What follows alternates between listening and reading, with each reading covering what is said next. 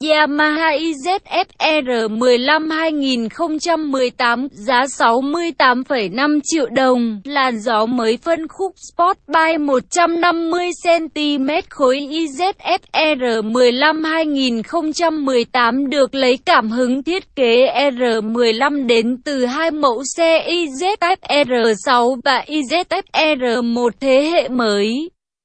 Yamaha trang bị cho izfr 15 mới động cơ xi lanh đơn, làm mát bằng dung dịch, dung tích 155cm khối, đi kèm với 4 van và tích hợp công nghệ van hoạt động biến thiên, VVA. Động cơ này sản xuất công suất 19 PS tại 10.000 vòng một phút và mô men xoắn 14,7 Nm tại 8.500 vòng một phút. Sức mạnh được đưa xuống mặt đất thông qua hộp số 6 cấp với bộ ly hợp. Cùng hệ dẫn động bằng dây xích động cơ được đặt trong khung xe Delta Box được tối đa độ cứng tại trục xoay với cánh tay đòn bằng nhôm.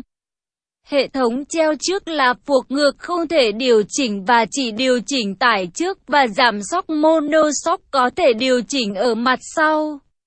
Hãm tốc do vanh địa thủy lực 282mm ở phía trước với hai piston kẹp và vanh địa đường kính 220mm với một piston kẹp ở phía sau. Nguồn sáng cho xe lấy từ nguồn sáng LED được áp dụng cho cả đèn pha với đèn báo nguy hiểm. Hazard đây là một trong những tính năng mới của gia đình izfr 15. Bên trong buồng lái là một bảng điều khiển LCD kỹ thuật số đầy đủ. Có 3 tùy chọn màu sắc cho Yamaha izfr 15 2018 xanh, lam, đen và vàng với điều kiện bảo hành 1 năm hoặc 10.000 km tùy điều kiện nào đến trước.